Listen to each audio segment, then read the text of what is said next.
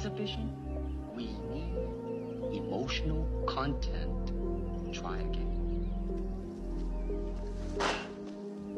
I said emotional content, not anger. Now try again. With me.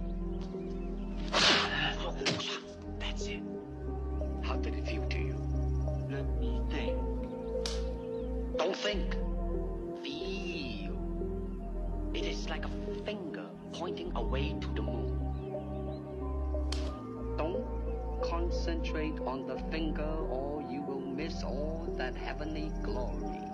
Do you understand? Never take your eyes off your opponent, even when you bow.